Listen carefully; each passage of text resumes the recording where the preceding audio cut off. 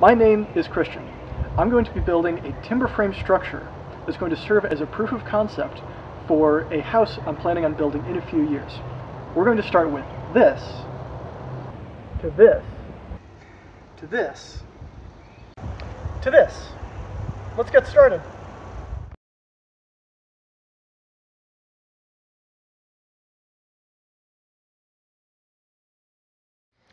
So this is what's going to become the top plate. So far, I have put a nice cross on each end. Um, I actually did that while I was hewing this down to size. You can see some of the spots like here, which are kind of original from the first hewing I did. I'll include a link to that video. It's not the right way to do it, but it worked, so I'm just gonna go with it. Um, so this is a 24-ish foot, maybe, maybe closer to 22 at this point, uh, 6 by 8 and this is probably the closest to actual dimension I have out of the other ones that are over there, which I'll go over in a sec. Um, but all I've done so far is I've snapped some center lines along, haven't done any of the other work on this, so I'll be taking it from pretty much raw timber, or I guess uh, raw cant with um, just some basic lines snapped on it to what you see over here. These are the other two top plates. This one is what I believe you'd call the ridge beam. Uh, this piece is a nice chunk of ash that we took down on this property a little while ago. It's still wet, so we'll see how badly it continues to check, but I'm optimistic. Um, this one was done on the sawmill, so it's a bit more consistent than some of the other ones, though given the piece of, or given the log I had to work with, it wasn't fully to size. So you can see there's some rounded corners, but again, for this application, it should be fine. Um, you can see we've got the notches for the rafters, and we've got the mortise and the sword hilt for where it's going to sit on the uh, on the uh, posts in the structure. And I've got some kind of cryptic markings that I should have already gone over in CAD, but um, I'll either do that at the beginning of the video or throughout um, how I'm doing the offsets because these are not all the same size. Some are close to 7 by 7s some are close to 6 by 8s and especially the ones that are hand hewn, uh, they're kind of all, all in between. And if we look down these, you can kind of see how much it jogs back and forth. Um, to the point where this one I actually offset, let's see, offset this from the center line, which is here. Um, and this is a good example of where I'm not doing a lot of math, but there's a lot of uh, thinking through the geometry involved. Um, but each one of these took me about a day to do, so we'll see how long uh, this video takes. The, these ones, I spent a lot of time getting the layout right just because they're so curved in multiple dimensions. This one we're doing today is a bit more straightforward. I'm less worried about that.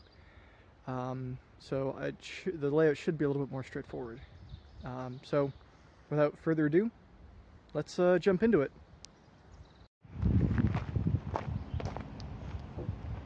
Alright, so now we've got the line snapped on here, I've got my story pole that's been all set up, I've double checked all my measurements.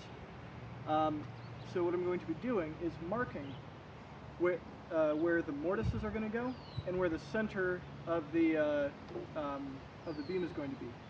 And you'll see me flipping this back and forth a few times. That's primarily going to be because um, I didn't have a piece long enough for a full 22-foot uh, story pole.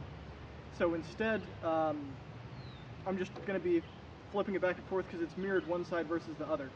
So I'm going to mark it on this side and then bring the lines all the way around. We'll see how well the wind cooperates today.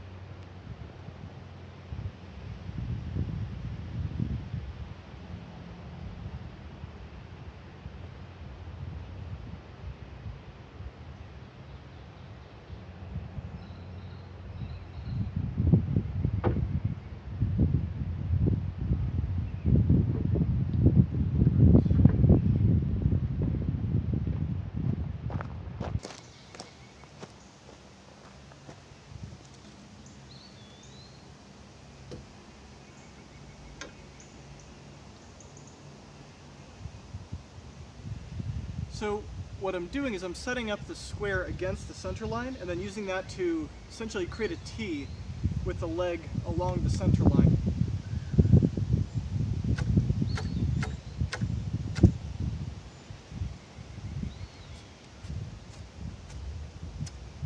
When you don't have a full square at the edge, you can guesstimate it, but what I'll be doing is on every side, I'll be double checking with the story pole to make sure I haven't uh, diverged too much doing stuff like this.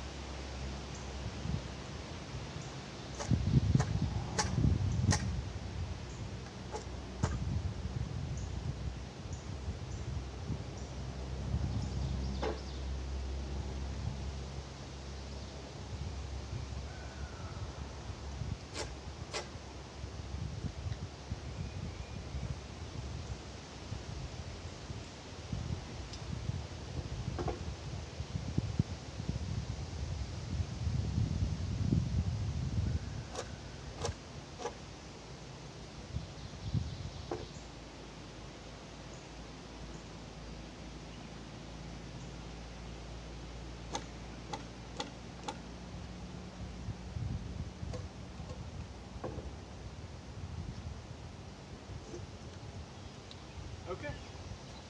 On to the next side.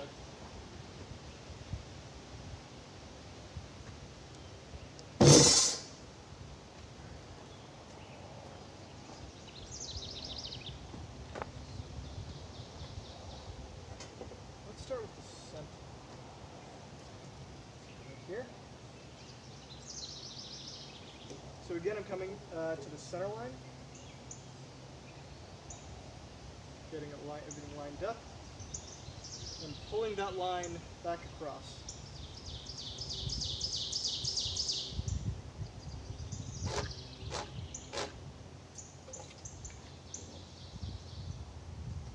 I think I said this in a previous video, but ideally you'd be using a proper uh, T-square for this. I don't have one and I've been too lazy to make one, so this is what I have to end up doing. It takes about twice as long to do the layout, but it's a nice break at the beginning of the day before you really get into actually taking a lot of wood off.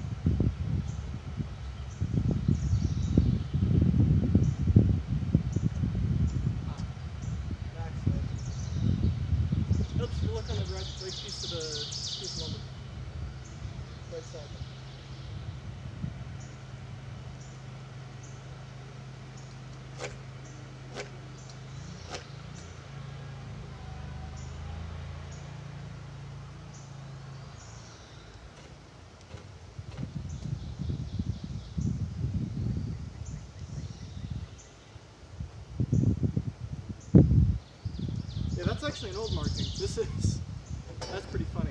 This is not the lines I just drew. And I'm sure those of you watching realized I was drawing on the, on the uh, I was pulling the lines from the wrong side of where I had just marked.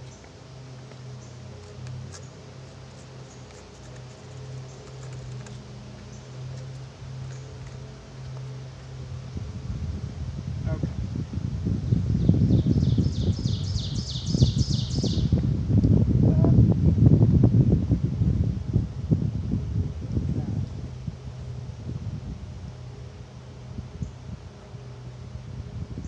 So we got this one right. I've got to fix these two.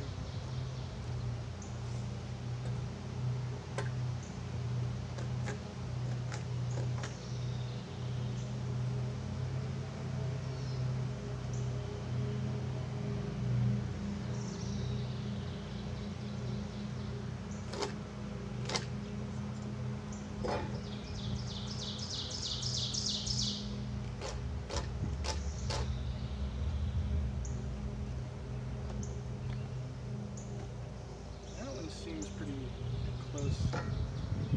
So I'm also going to double check as I go with the story pole, because in theory, all the distances should stay the same all the way around, within a pencil line or so.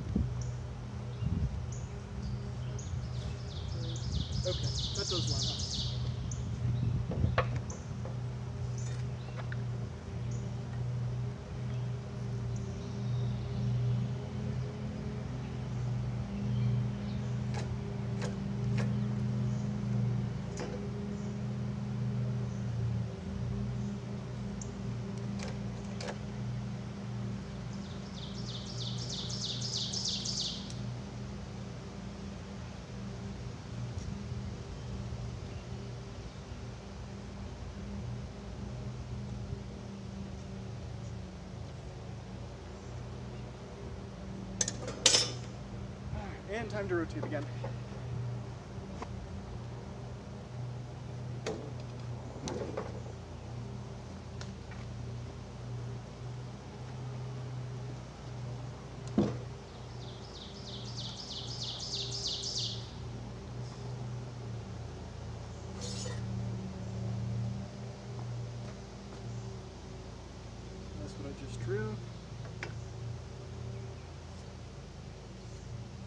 Part's pretty formulaic, going through the motions.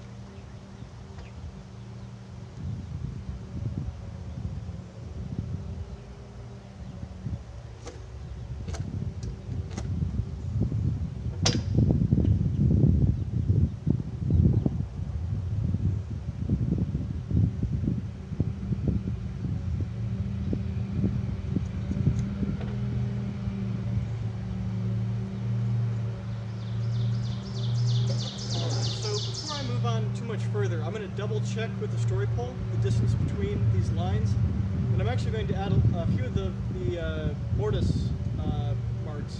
I guess the where exactly I'm going to be boring the holes for the mortises. That way I don't have to flip it over uh, again and find where I which pile of wood chips I dropped this in. That's the problem is I should have painted this bright orange or something because I'll knock it off of this, it'll go in the wood chip pile, and I'll spend 15 minutes trying to find it.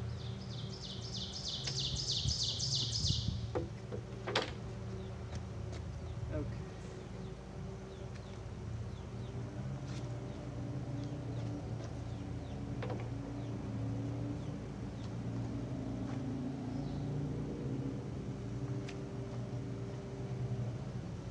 close. And I know the distance is the same here to here. Okay, so this one, I did something wrong along the way. And so, given that those two are correct and this one's not, this one must have skewed this way just to here, so I'm just going to correct that manually. Again, the cleaner you can get your, the cleaner you can get your beams ahead of time, the less corrections you'll need to make. Um, but I'm only off by maybe an eighth of an inch, which, all things considered, is not that bad for what I'm doing here.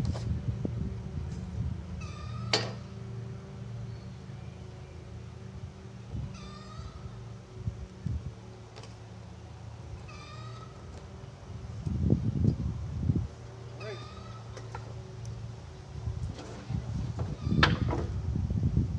It's down.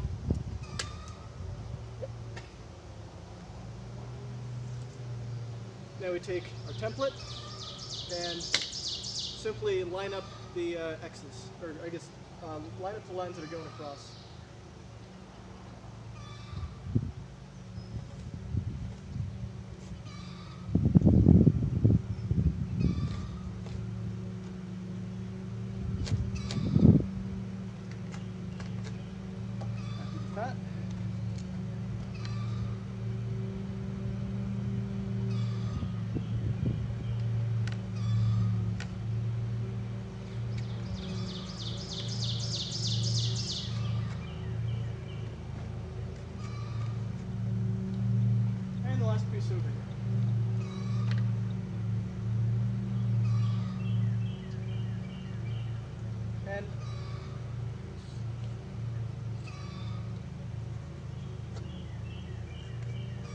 Thing I'm also checking while I'm doing this is that I actually have about two inches on either side, which means that this center line is actually in the center. Um, on some of these pieces, when they curve like this, you actually have to offset what you think the center line is, because if you mark it only at the ends, at the middle it's going to be off by a huge amount. And I'll, I'll, I'll have gone over that in the beginning a little bit, um, as far as some of the adjustments you can make to the center line to get your beams to come out a little bit stronger. If they're as weird as mine.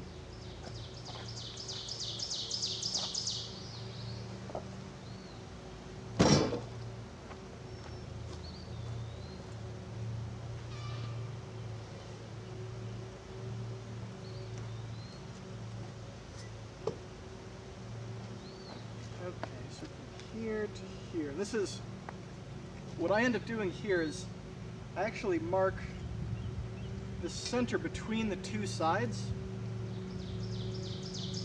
on here, and then I use that to see how far off of square that is. And usually it's pretty darn close. Um, yeah, this one's pretty much dead on.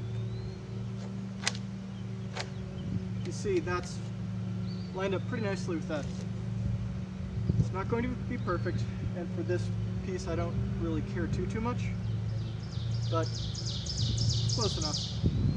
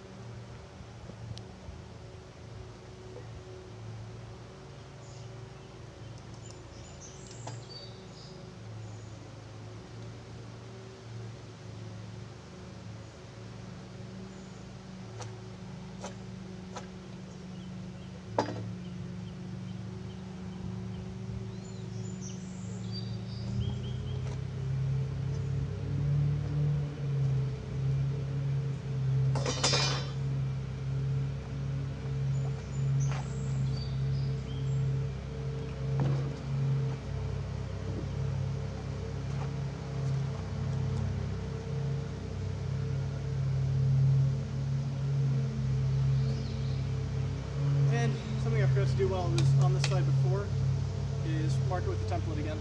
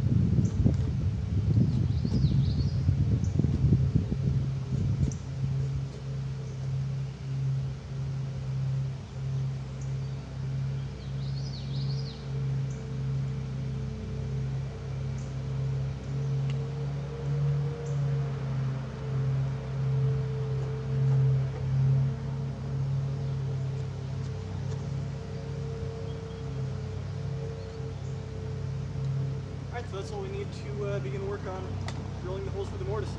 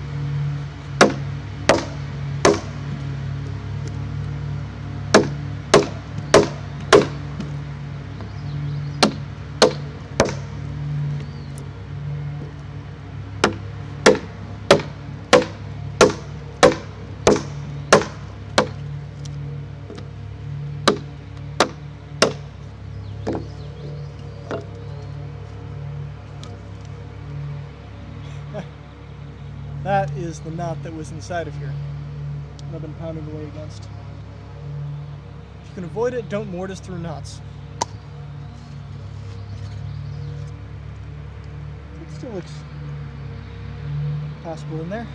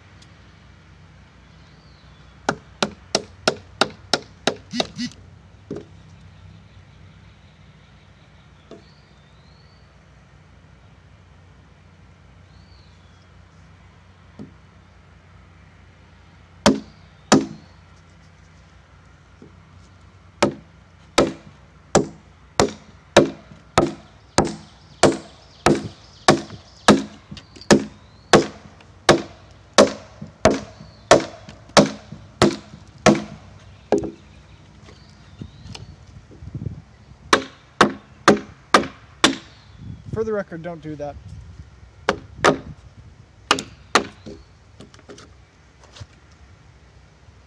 It's not good for your chisels and it's a very good way to bend them.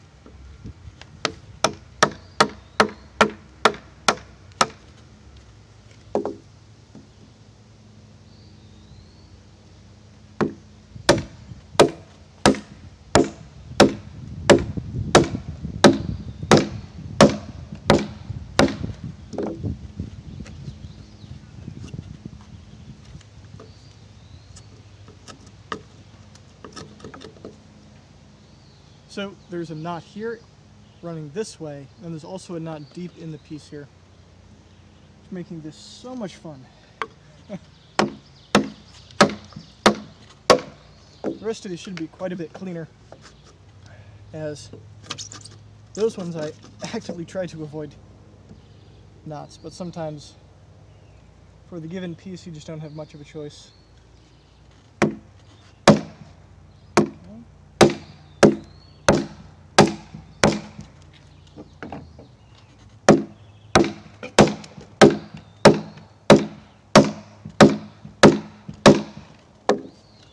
Along the side and kind of checking against this and then adjusting as I can.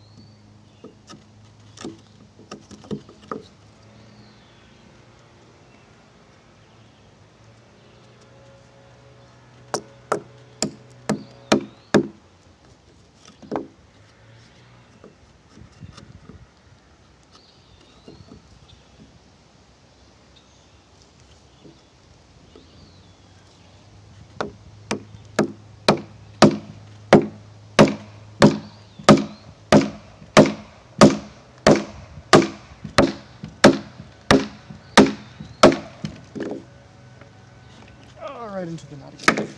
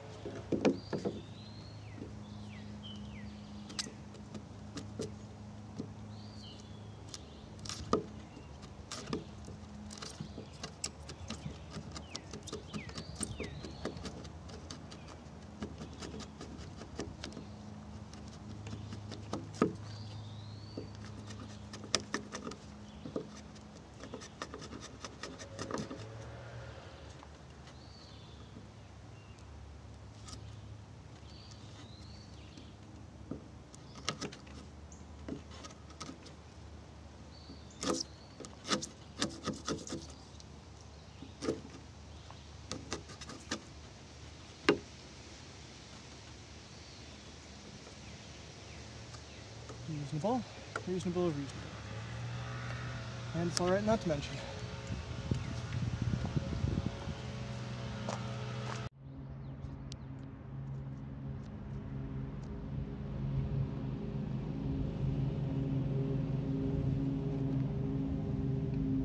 Alright, uh, last one here. Same thing we've done twice now.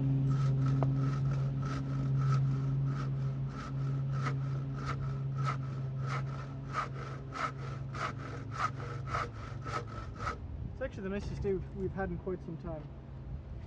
It's been uh, a little bit too warm for my liking. It's about 65 and sunny today, which is just perfect for my standards anyway.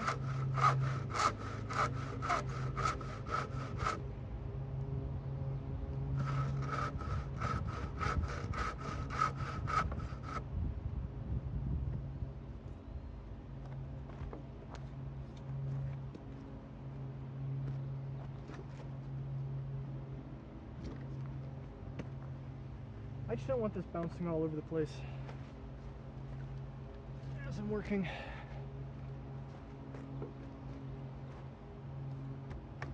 Good enough.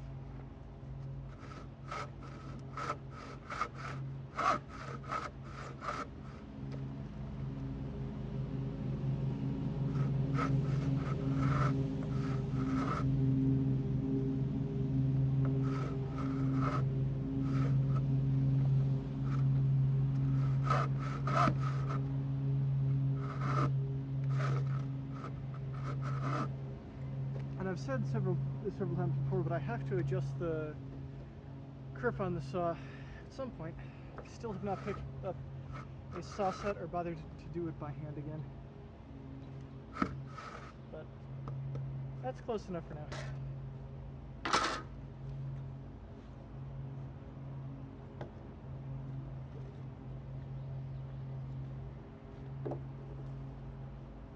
Alright. Where to start? We'll start up here.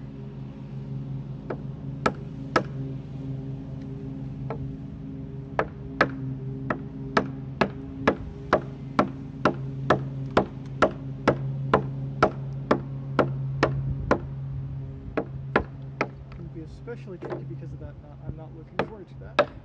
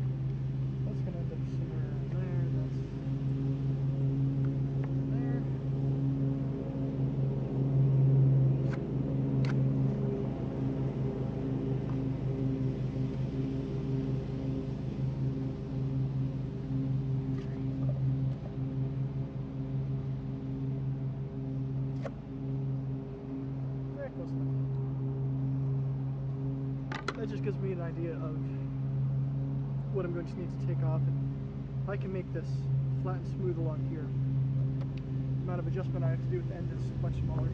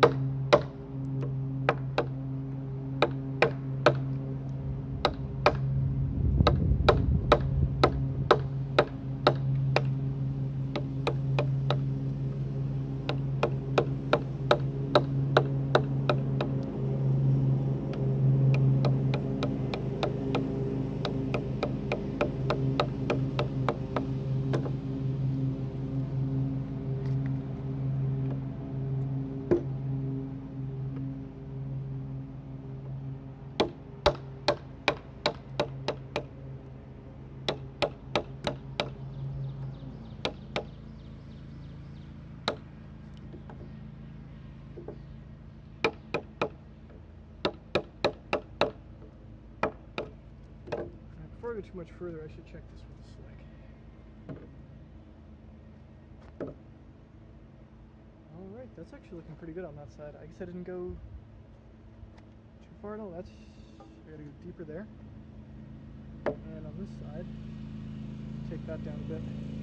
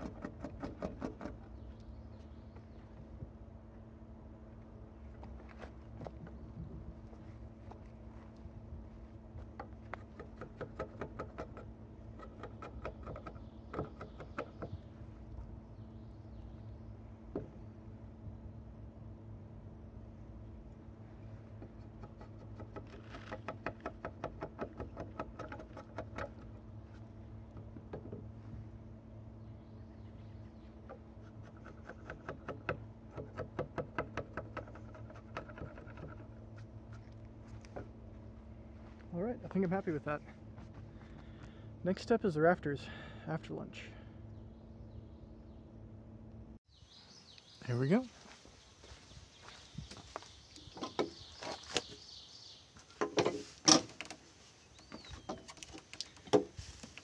So here we are on the center mortise for this beam. Got my template ready. And nope.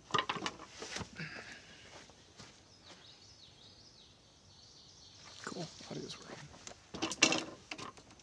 So here we are on the center mortise for this beam. You can see I've already got it roughly lined out here.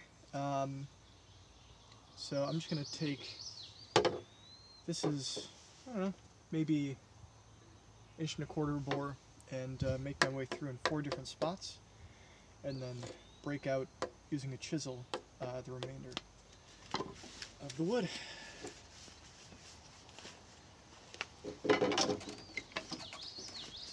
It's just here, so I'm standing a little bit more comfortably.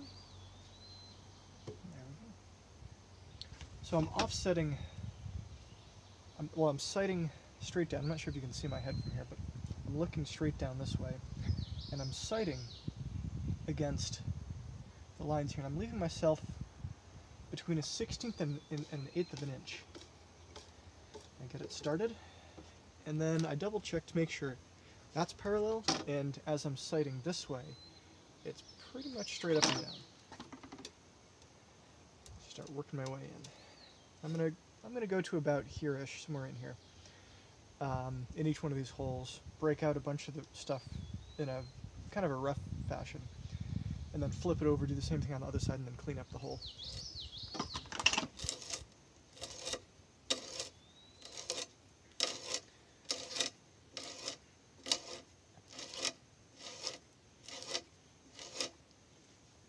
And especially on the first hole, I keep sighting down, making sure I'm not collaring too far outside the lines.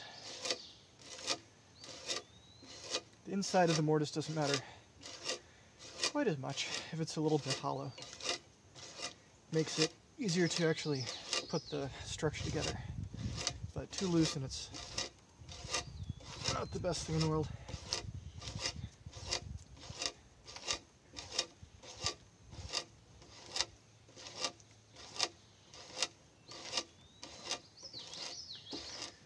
This one's much nicer than, than the one I did earlier. Not sure if I'm going to show that or not because I didn't actually get the audio working correctly. So it's 15 20 minutes of absolutely no audio.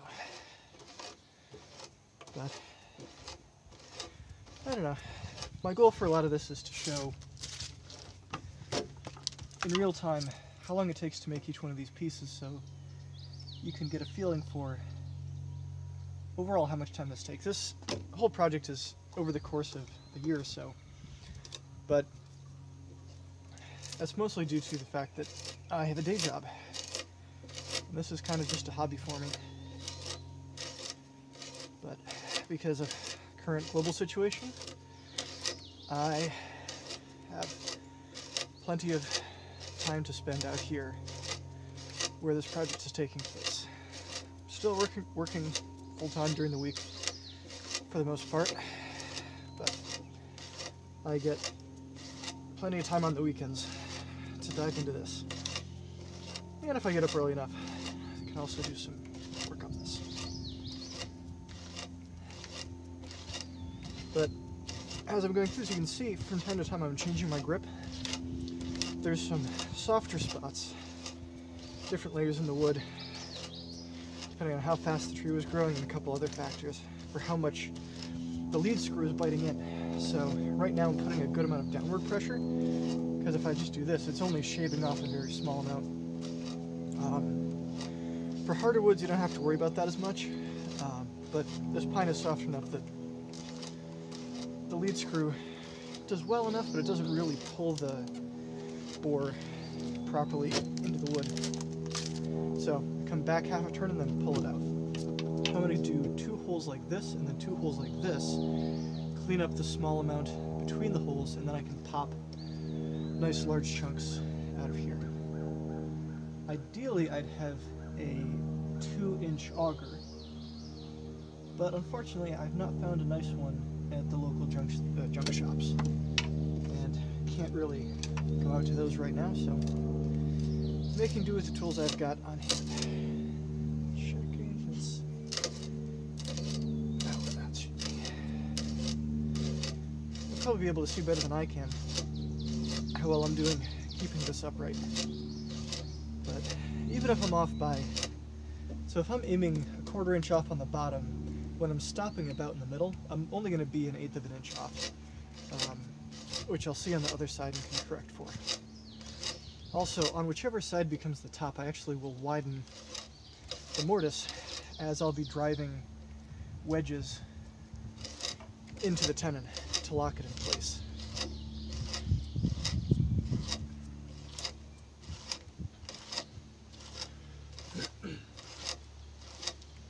You can see, again, I changed my grip, pushing down to make it through that layer that's not as conducive to the bore.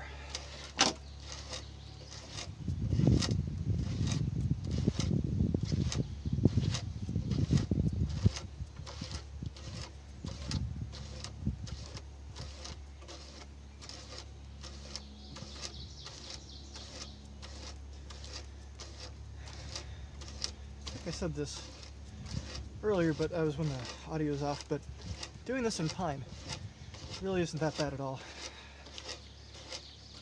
The rest of the mortises after this piece on the structure are all in somewhat dry but still a little bit green ash. And that's going to be kind of fun. And by fun I mean a crap ton of work. Got 28 mortises to do in ash.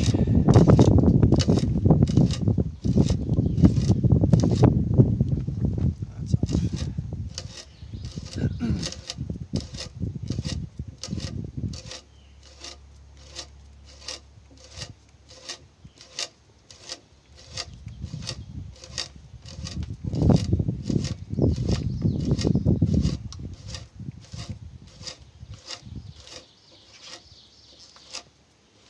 As the lead screw loses its grip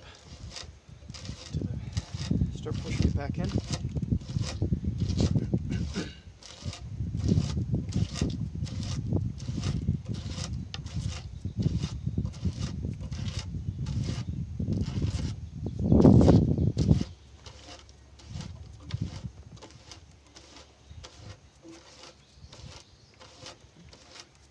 Almost.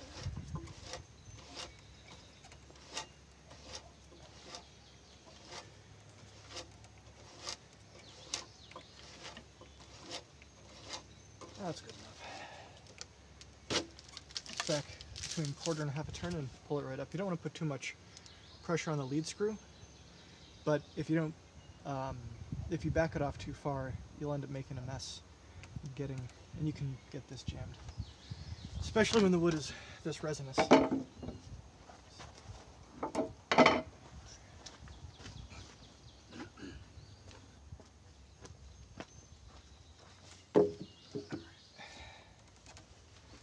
So now that I've got the holes bored in, come through, clear out the waste between, a little bit by a little bit.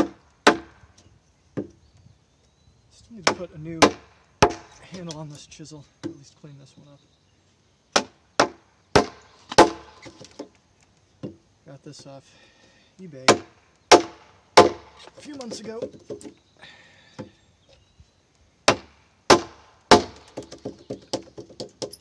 Reasonably happy with it.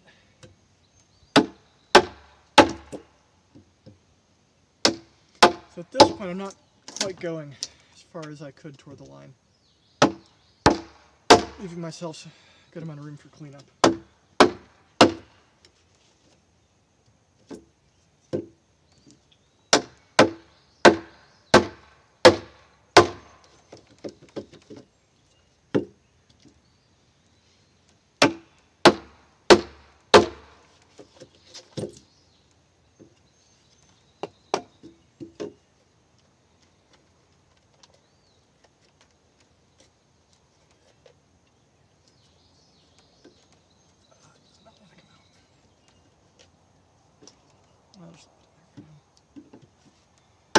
So now that I've got kind of the sea cleared out, I can come into the, whoop, come into the meat of it and start taking out larger pieces.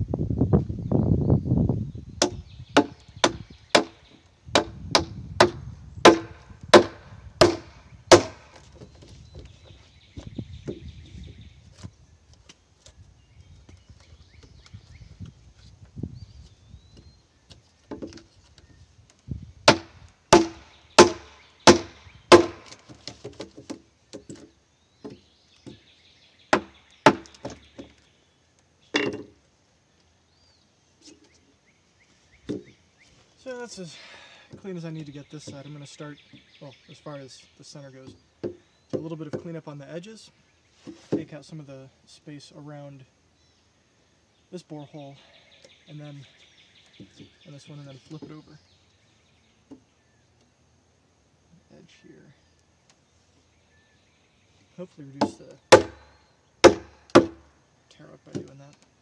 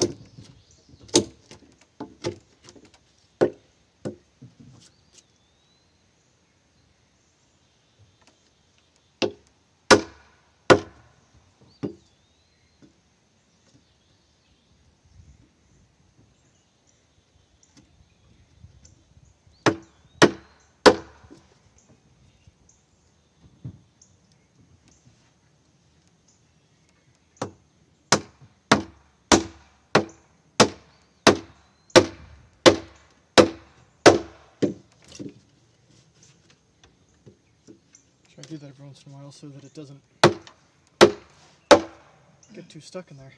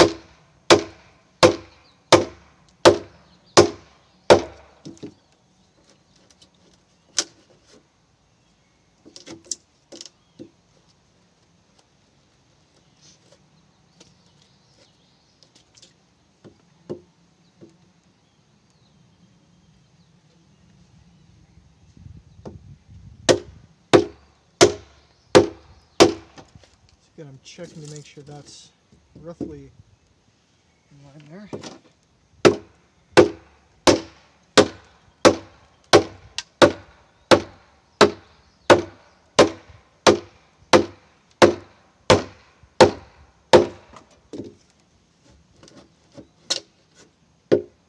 All right, I'm happy enough with that. Time to flip.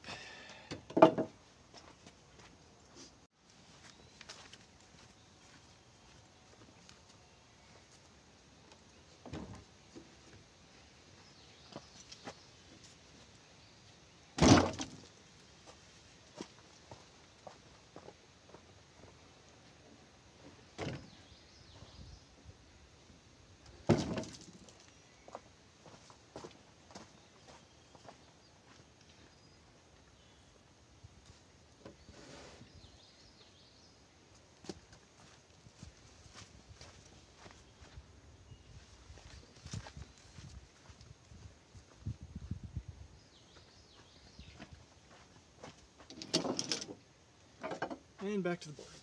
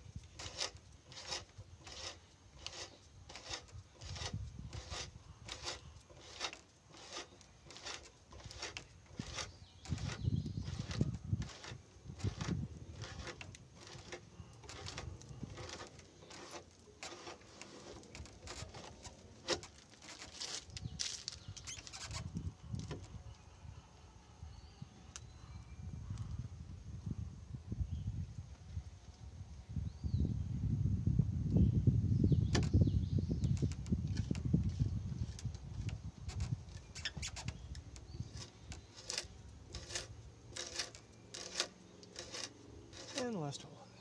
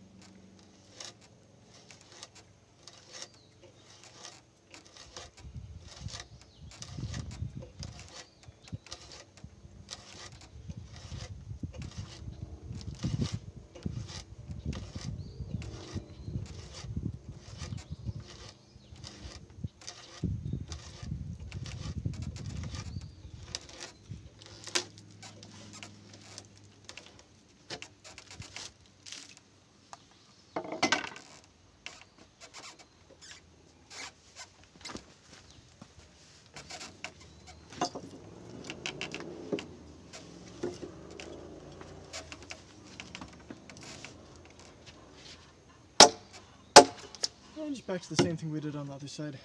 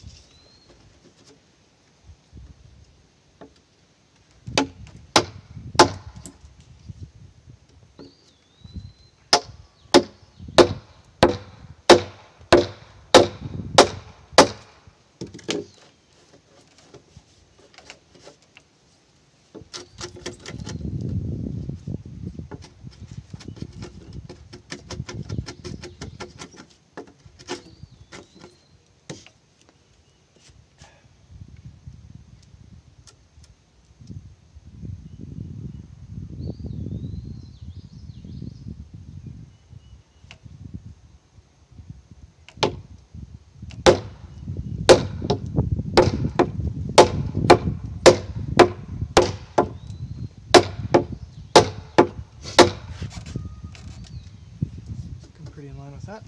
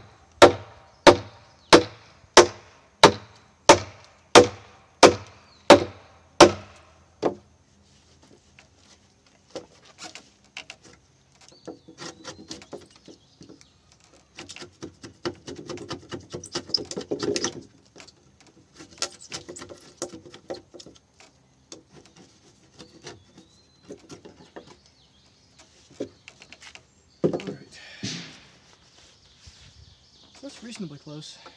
Start using the template to see where we need a little bit more work. Just a hair up either side. That's good. What about this direction? That's actually pretty good. This side, sighting down it, I can see it kind of curves in like that. So I'll have to come back through and address that. Let's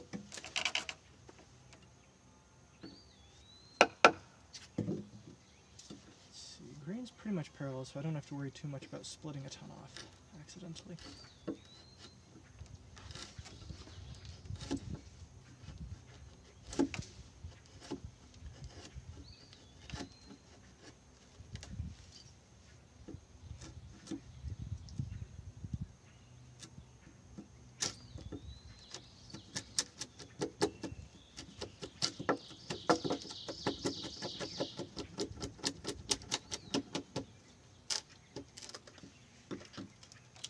Let's see how that looks.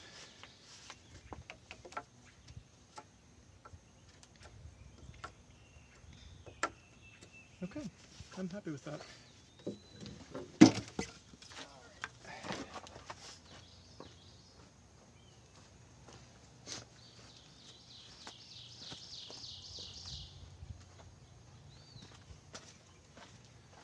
So the next step is to start clearing out cheeks through here.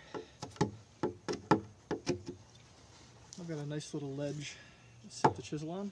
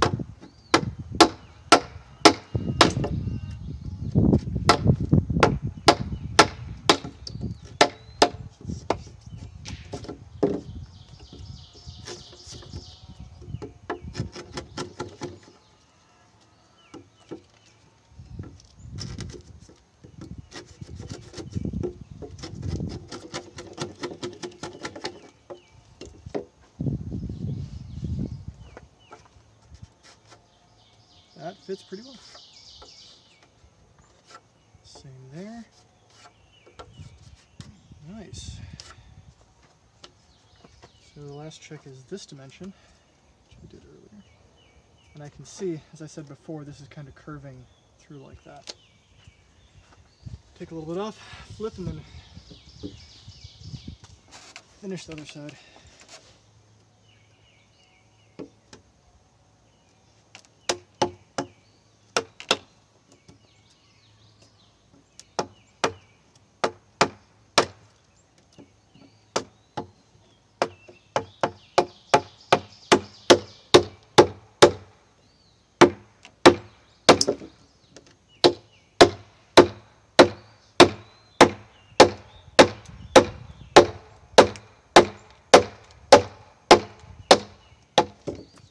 That is much better. Still not perfect, but a definite step in the right direction. Oh, and here I'm going to take just a hair off of here. So I can see this one bowing out.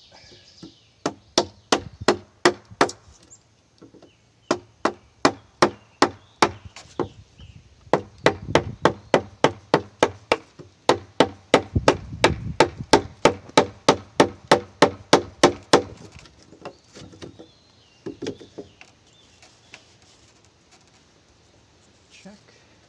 Nice. Slides. Well, this side, maybe not as much. Yeah, I can feel that surface right there sticks out a little bit further. Again, get that set. Take a little bit off on the way down.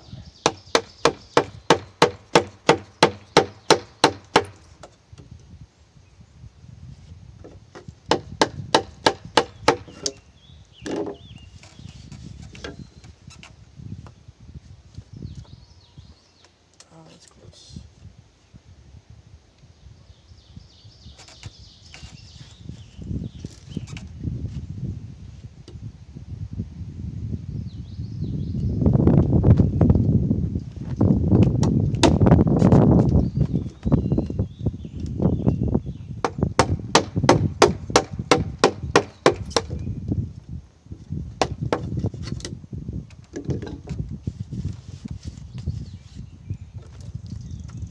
That should do it right there.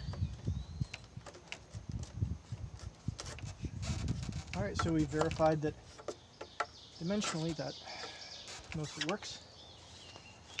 So flip, clean out the other side, and use the uh, slick to make sure everything is actually passable all the way through. Because what can happen is if this is skewed one way or another, you won't really be able to see it on the way through, but as long as both sides, at least the first inch can fit this, and you use your slick stuck through, I'll, I'll, I'll demonstrate this in a sec, to check how straight this these edges are, you can be reasonably confident that it, your uh, joint should fit on the first try.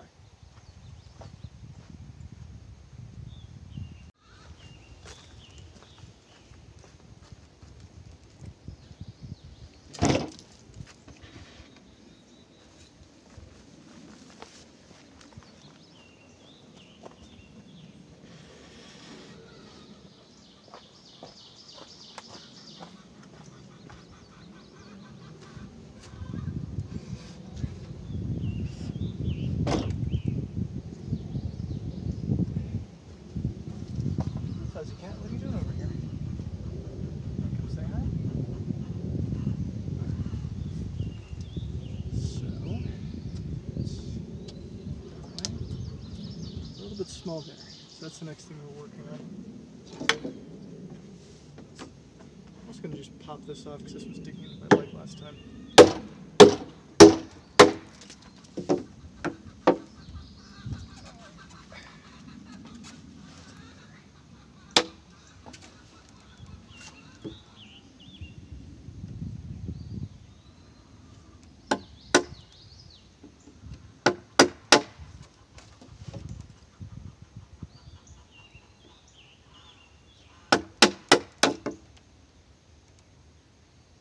And just taking a hair off piece by piece, hopefully.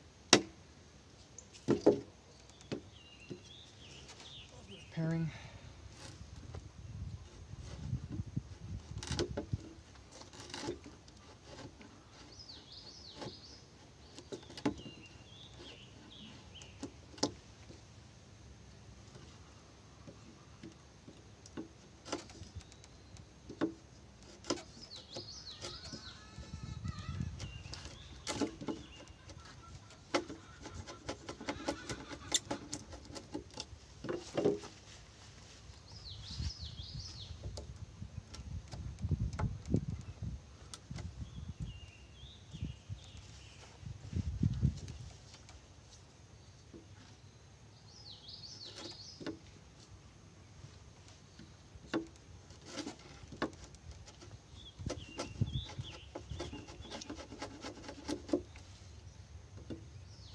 Gotten reasonably lucky here. Where this grain, uh, the grain orientation wood is right where I want it to be. So I don't have to worry too much about splitting off large portions of the side, though I should probably reserve that sort of comment until after I've finished with that. So that's decent fit. And that's other. So, coming back through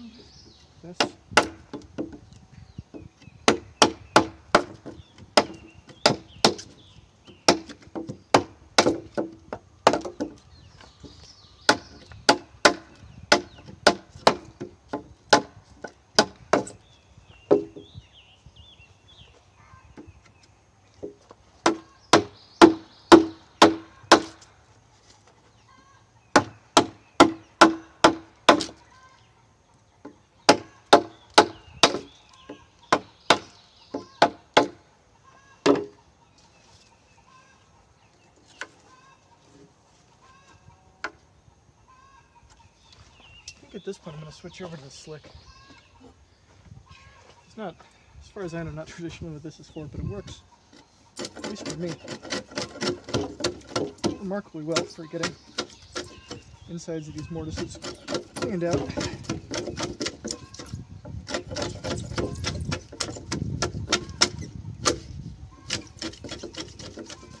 So, if you're not careful, you actually blow out a little bit of the bottom, which I just did, which means that bottom is a little bit wider than it needs to be now. I should really only be using it about that deep. Anywhere in here, I can push a little bit too hard and actually pop a little bit of the bottom of the joint out. It's not great.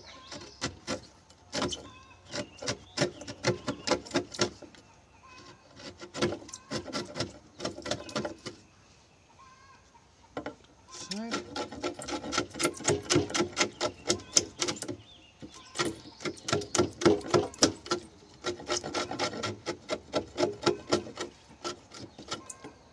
So up until now, I've just been eyeballing it. Let me out some of the shavings real quick. And I'm going to use the slick to make sure the sides are straight and aren't bowed out into the joint. So not sure how much you can see this, but I'm currently rotating it into position and this edge I can see the slick is touching pretty much all the way down, which means this is pretty close to straight on the inside. On the other side, I can see there's actually, it's bowing out. And here, so that's the next thing I take a little bit off of.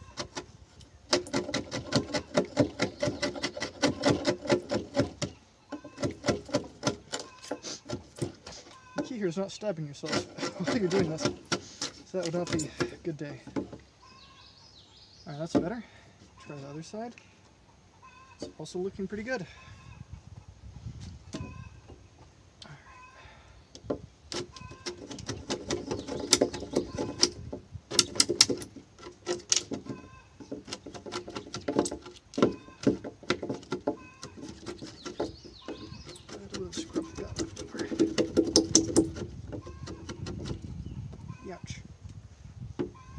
You know, I hurt myself more accidentally the wood like that than I do with the sharp end of the tools because you're thinking about the sharp end of the tool almost constantly, or you should be. And you're not thinking as much about, oh, I could accident- accidentally bump into that, and that's a hard edge right there. So right now I'm just taking a quick look side to side, and I think I'm going to leave this two dimension. At some point on either end I'm going to take about a quarter inch additionally here. But I want to talk about that process when we get to actually putting in the sword joints.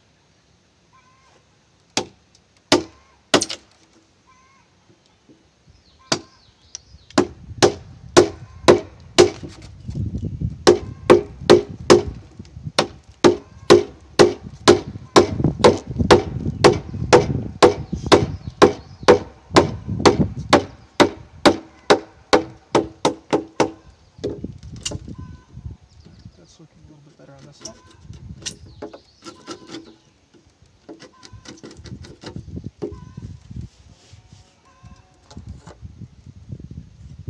That's, I need to clean that up. A sec. That's feeling reasonable. I need to take a little bit off that side as well.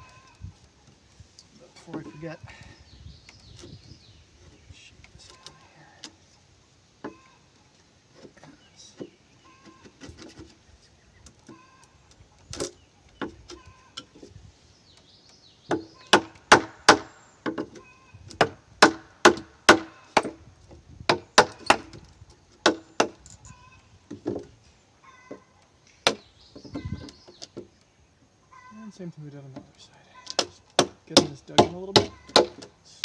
rotating into a position where I can start up some of the excess.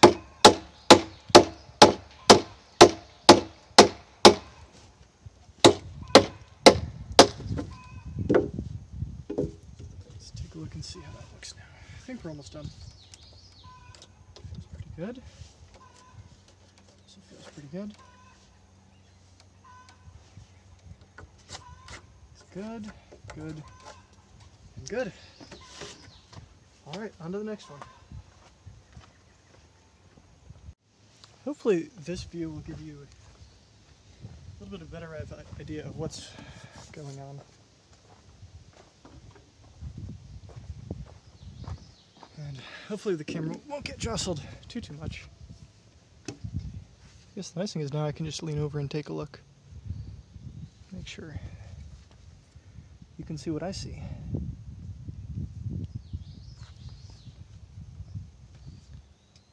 Up to there.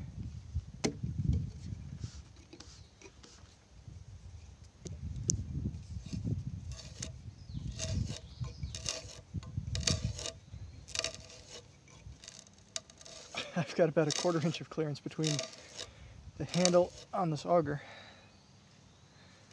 and the clip that I'm using to hold the phone and the battery to the stick I have propped up against a piece of scrap wood.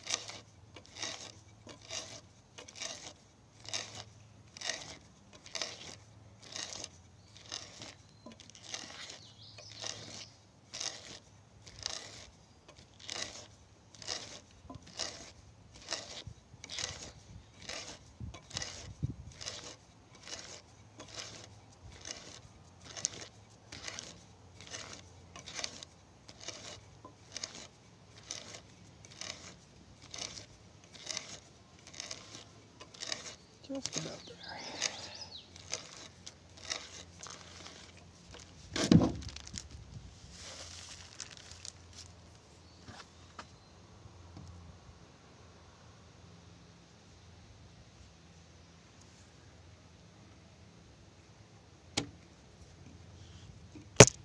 Nope, that did it.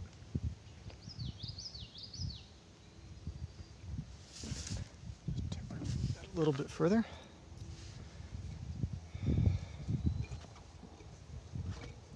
How's that looking? That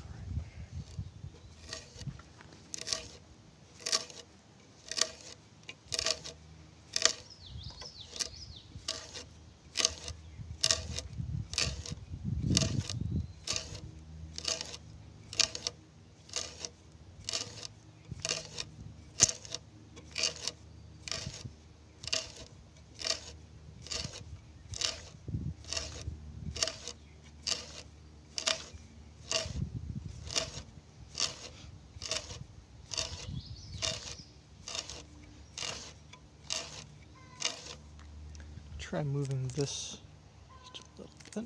Hopefully that won't let go. I've got room to work.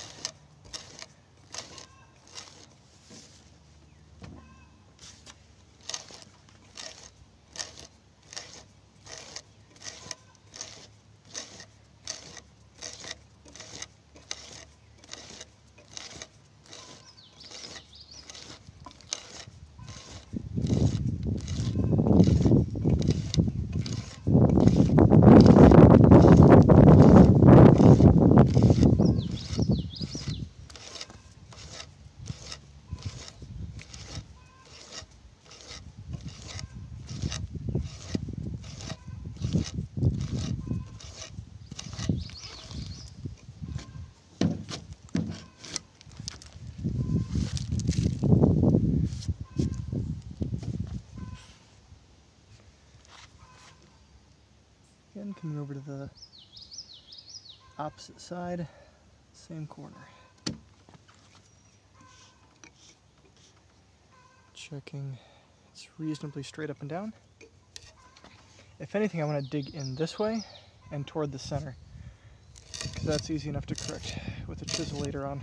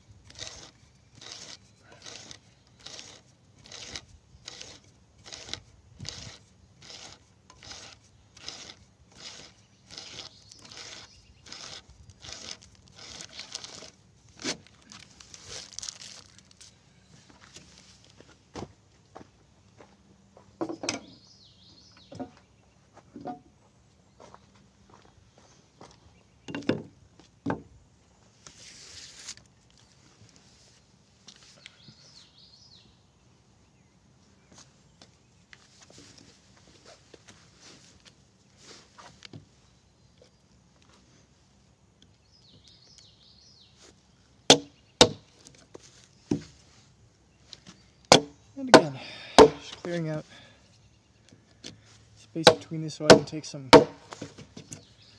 larger pieces out eventually.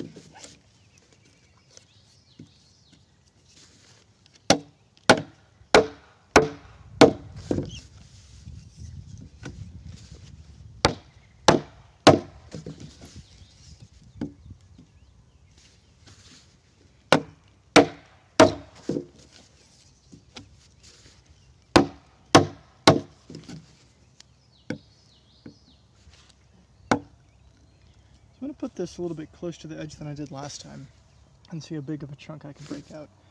I'm a little bit worried it's going to stray into this, but yeah. kind of curious what's going to happen. Yeah, it worked pretty well.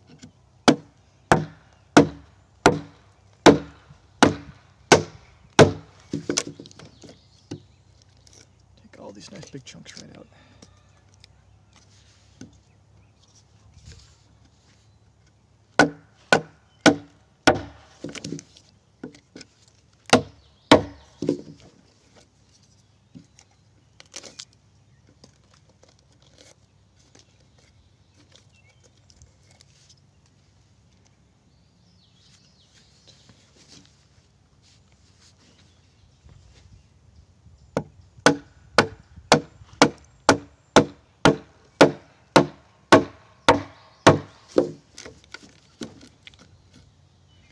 Also, you might see me going like, going like this a little bit deeper into the cut.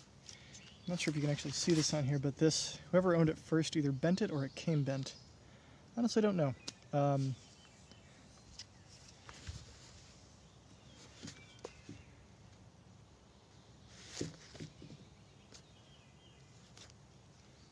yep. A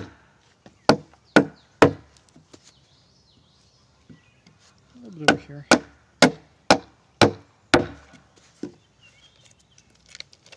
Bits and bobs out.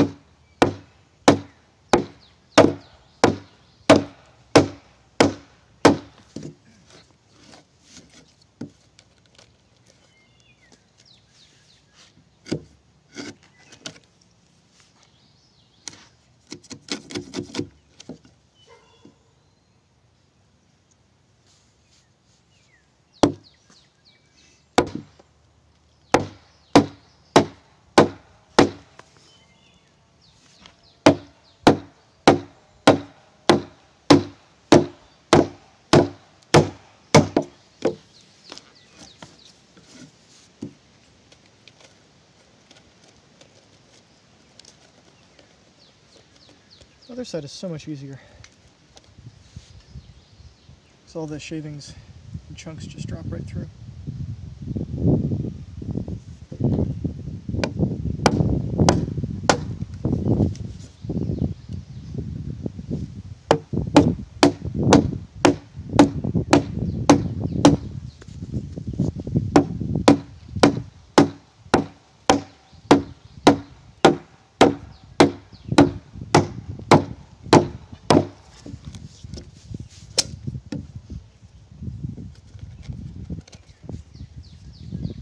And same thing over here.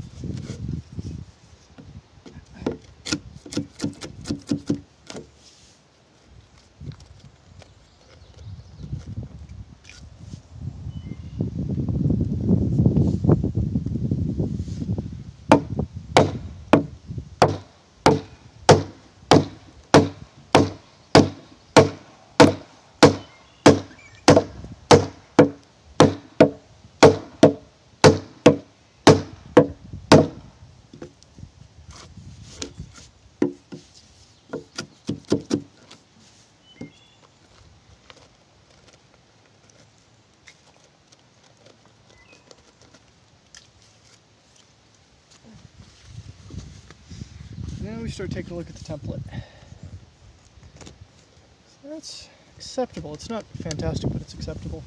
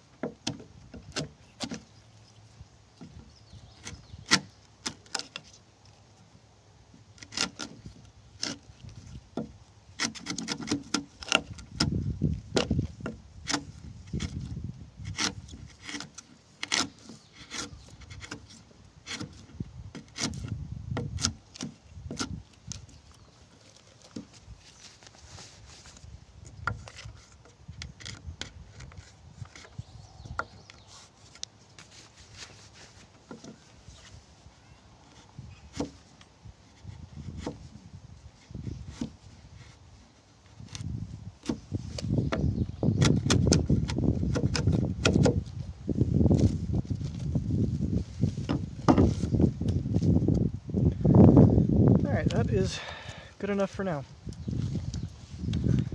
Time to flip.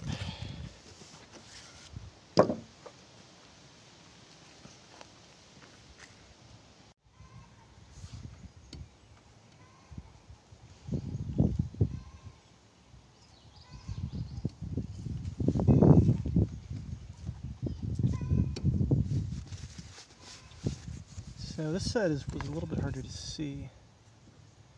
Double check lines are the ones I think they are, so that's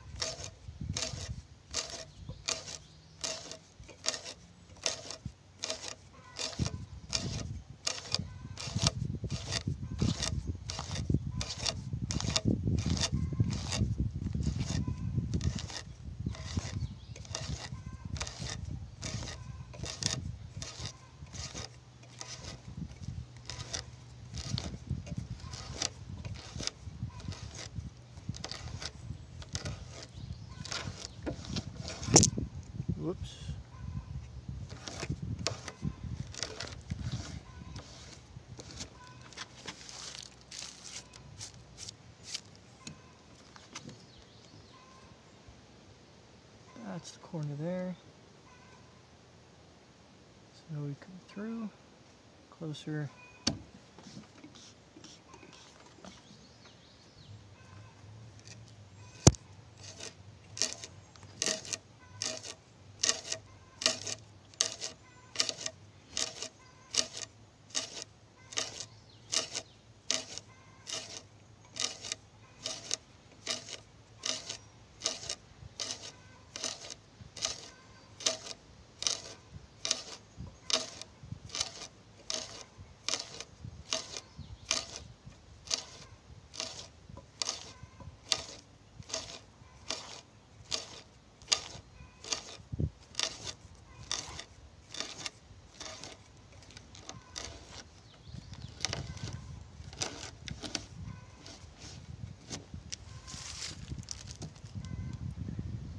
and last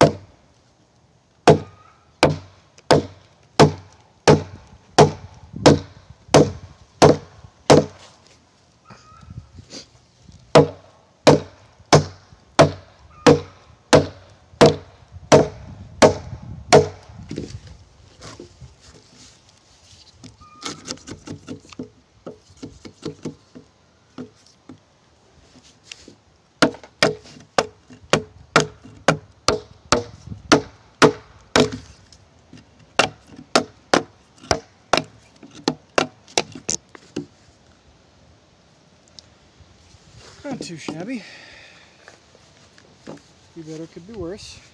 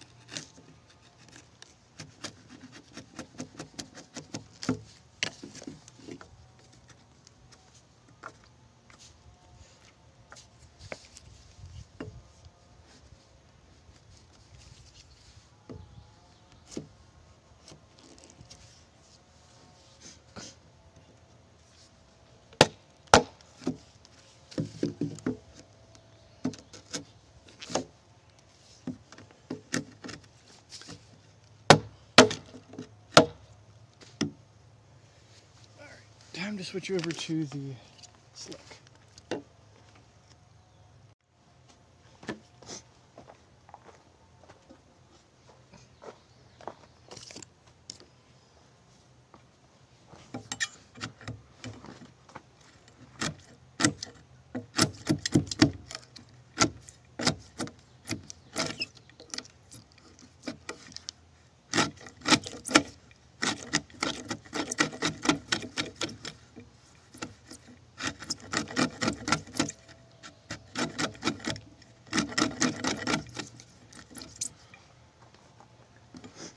So now I can put this in, twist it up against the side and sight down here. I'll do it in a few different directions so you can see kind of what I'm looking at. So I can see that right there is just a little bit high. Come back through and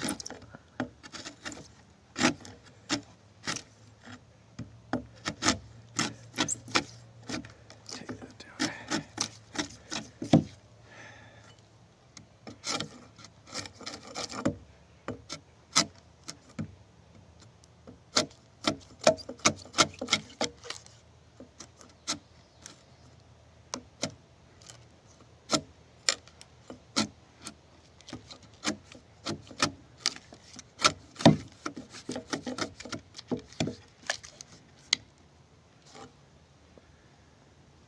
Alright, that one went pretty smooth.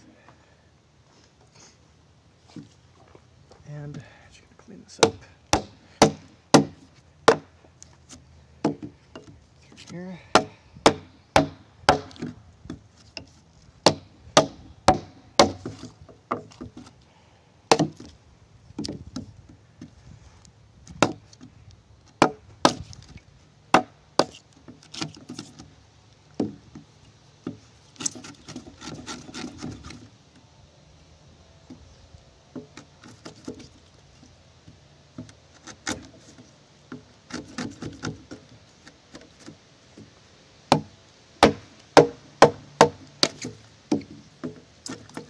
And here you can see, hopefully, I'm not sure how much you can see, but this, I hold this here, angles this way, so I've got to come back down through and clear that out. And I think this one's good.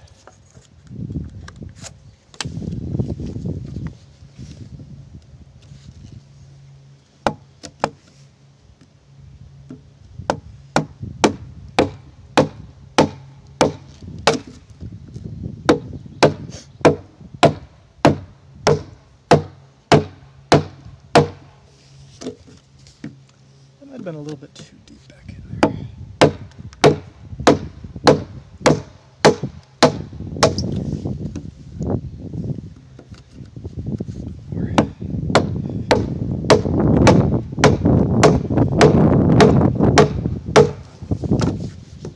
Okay, I can live with that.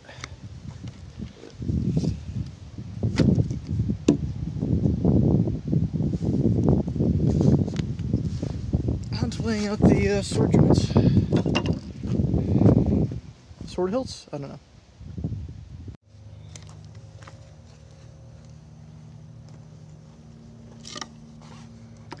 Alright, so now that we've got the uh, mortise put through, we have to set up the sword hilt, sword joint. I don't know. I gotta look up my actual terminology for this.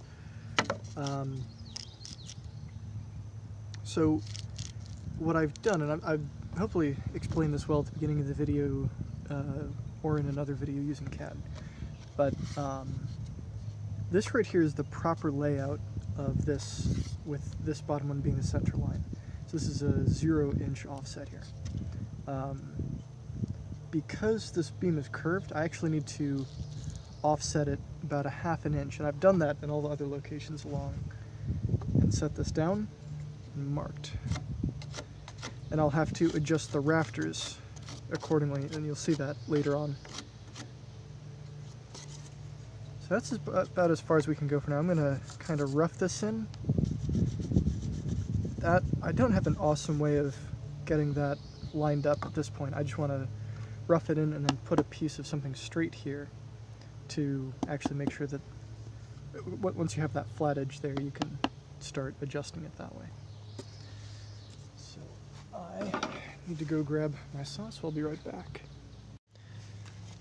Okay, so I grabbed the saw from the workbench, and I'm going to be cutting down through there, so I've got to turn the log back upright.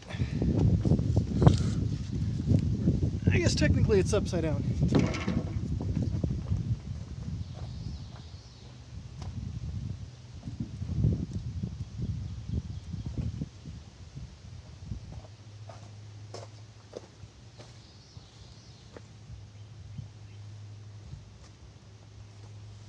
Does that matter?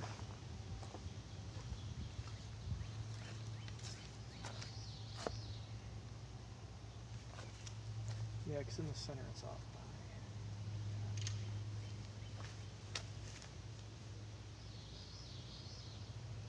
by. Okay, that makes sense. I put that on the wrong side, didn't I? That's funny.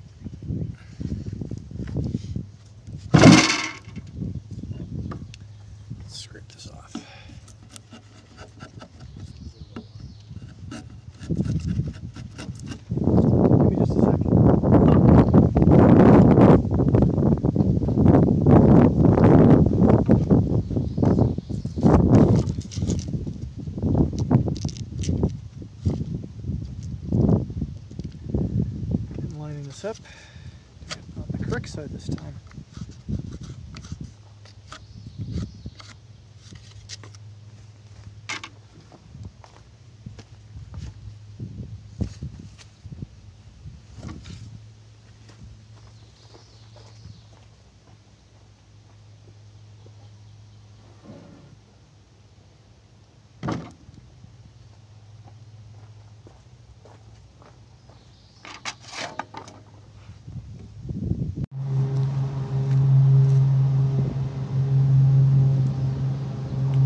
so now that we've got our markings in place, we can cut down to the line and uh, then start chopping that out.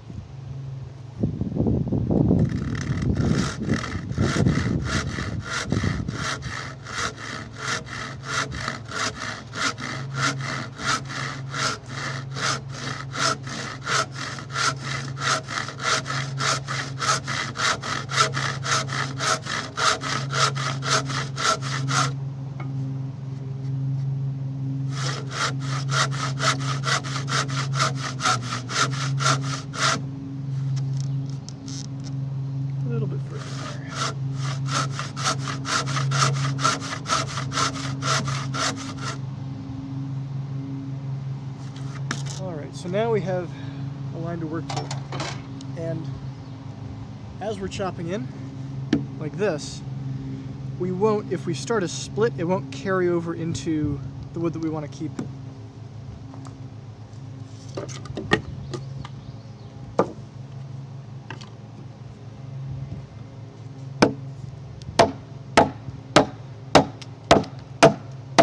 Split is pretty satisfying, as long as you don't go too far too fast.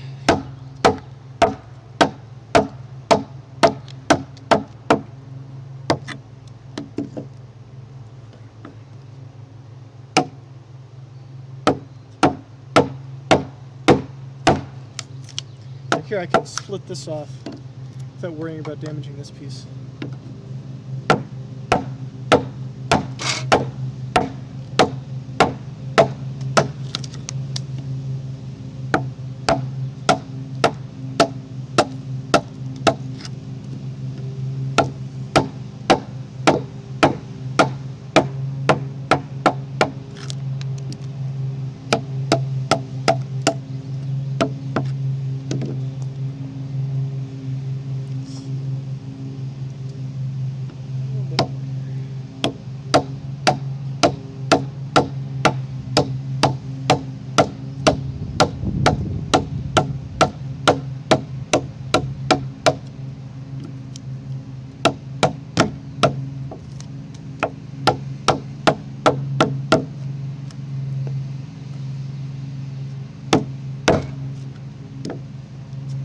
That was a little close there.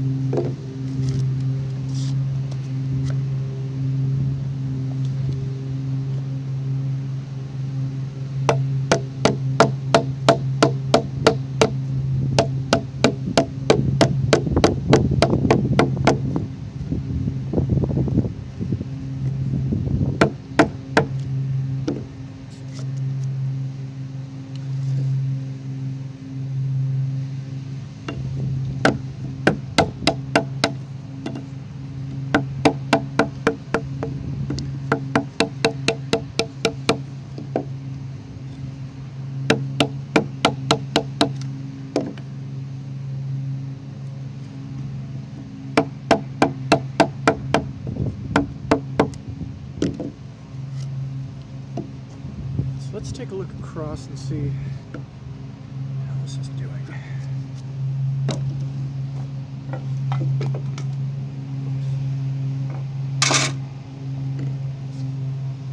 So that's actually not bad at all.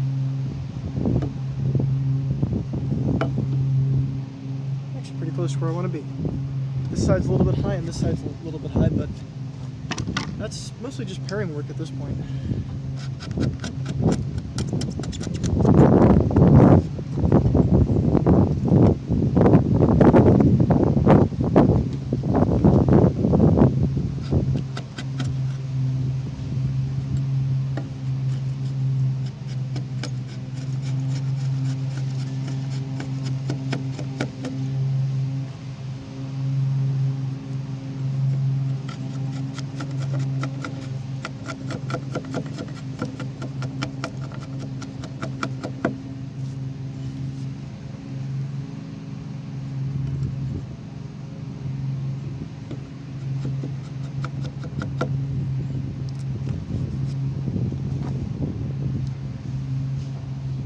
More up top.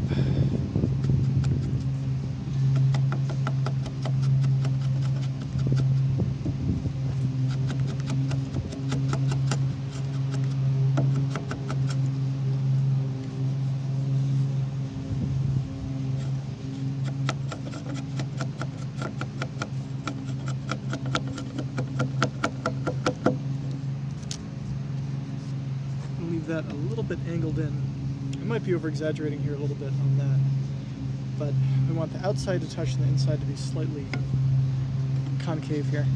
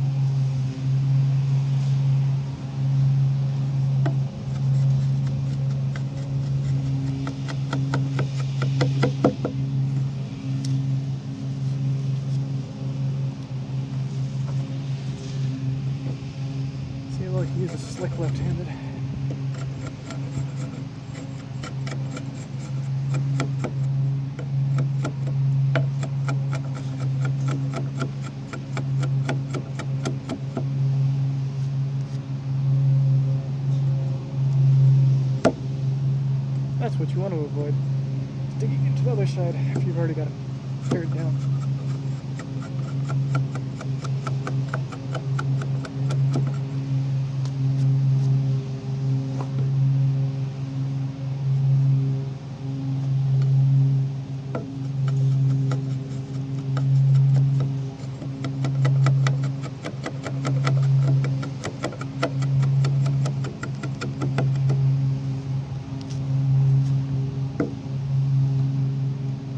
Alright. I probably over exaggerated how far you want to make that go, but that is what it is.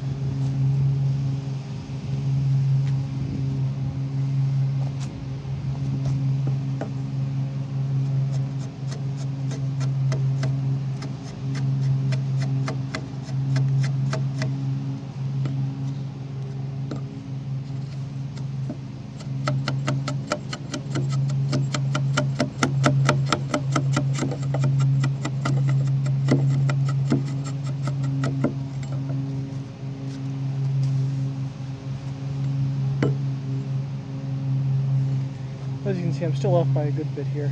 Just go back around the other side.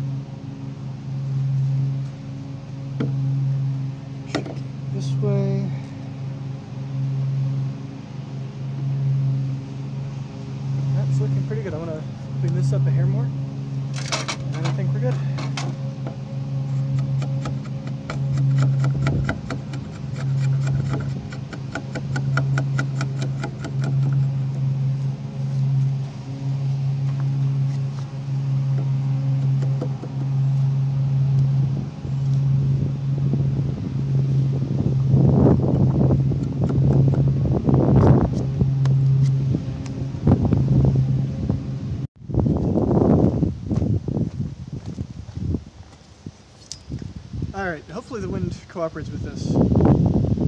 I've got my rafter mark here, and I am lining it up here. Two inches, because I have four inches on either side. Sorry, two inches on either side. Strike that up, come up two inches, which is what was on the template, and then come over there, to here, there. Two inches.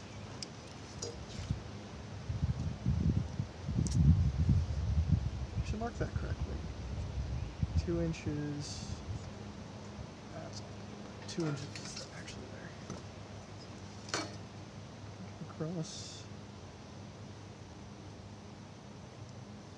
Like that.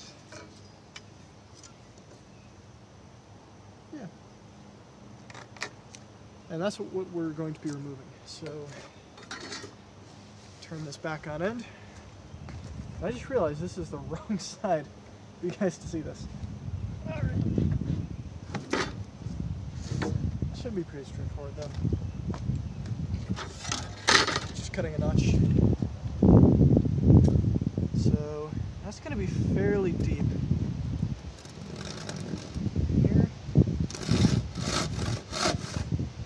Out.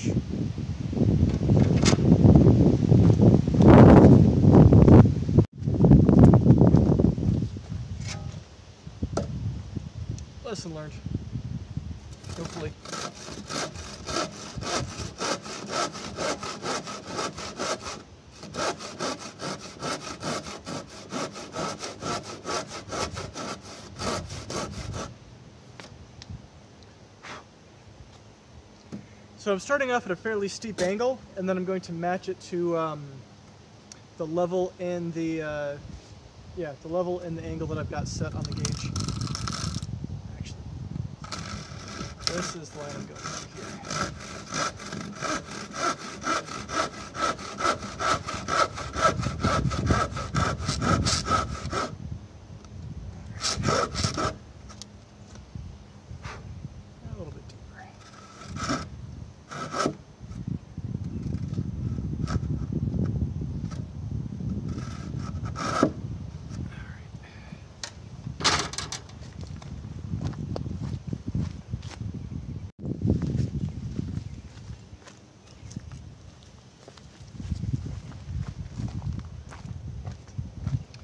Alright, so with a little bit of geometry, it's able to make sure to strike a line across this. This is actually grab the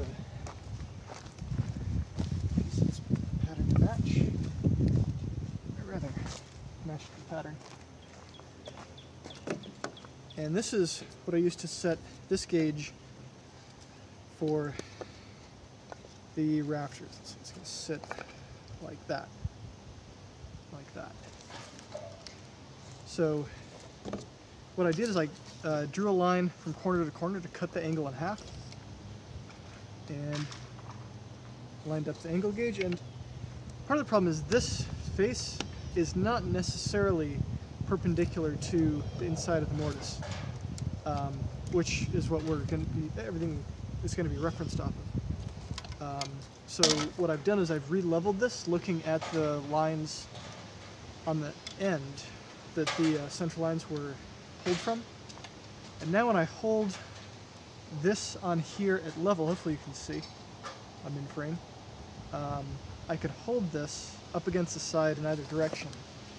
And as long as the bubble is level, I've got the angle I need. Um, so I start off pretty steep and then slowly flatten it out to match. So, because I made these cuts, I can come back through. Pop that right off. So, it looks actually to be close to the right angle, but I've got another inch or so to go. So let's take a quick look at this. Actually, we do need to go even further down the angle to even match that. But having done a bunch of these, I know that I've got a ways to go.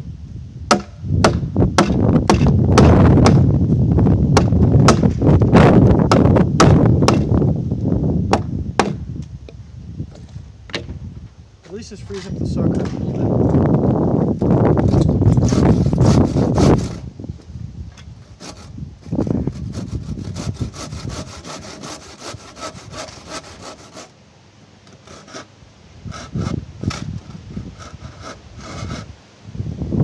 That's looking about right.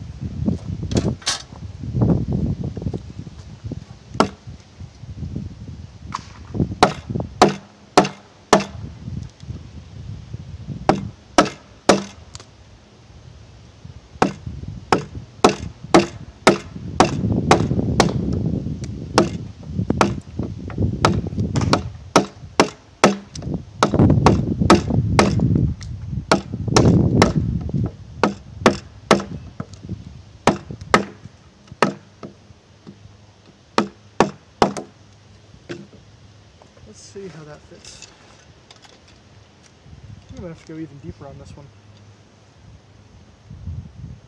So we are actually, I could be wrong on that. That is pretty darn close to level. That's why we test. Just gonna take the slick real quick. Clean this up.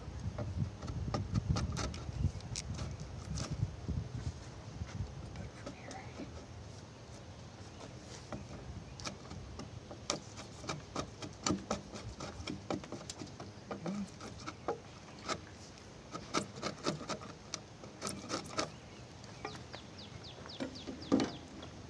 And clean this up here, and that's pretty much done.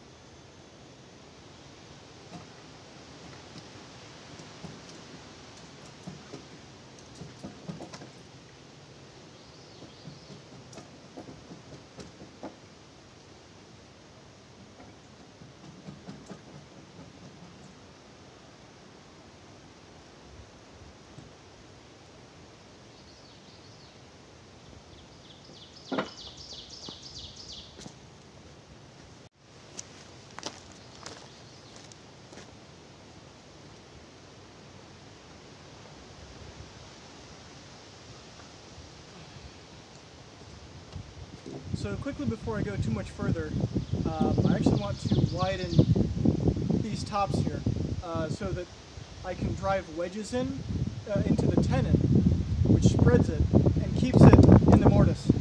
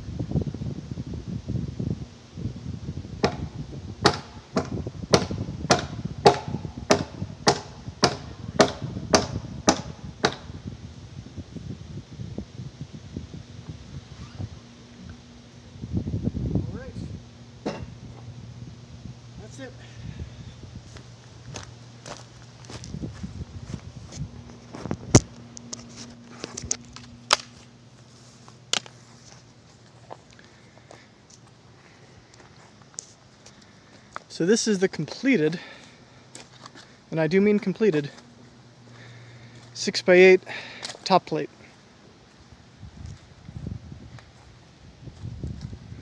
You can see down in here, reasonably clean. We'll see how much adjustments I need to make as I actually assemble the structure, but I'll be doing some dry fitting on the ground. But all of these rafter slots should be at the exact right location. Modulo very small amount of shift side to side, just because this piece isn't uniform, but should be close. This right here is going to be interesting. So when I put the tenon in here, I'm going to have to go up with a saw and a chisel and actually pop this same angle out so the rafter can sit on it. Um, that should be interesting, but not too bad. We go. And here you can see the sword joint. So the post will sit here, tenon going up through, and locked in at the top with two small wedges which spread the end, of the tenon. So I think that's about it for today. Um, hopefully this hasn't been too boring for you. There's a lot of repetition, but that's kind of what I want to show is how long it actually takes to do each one of these components piece by piece. Um, so hopefully you'll tune into the next one. See you then.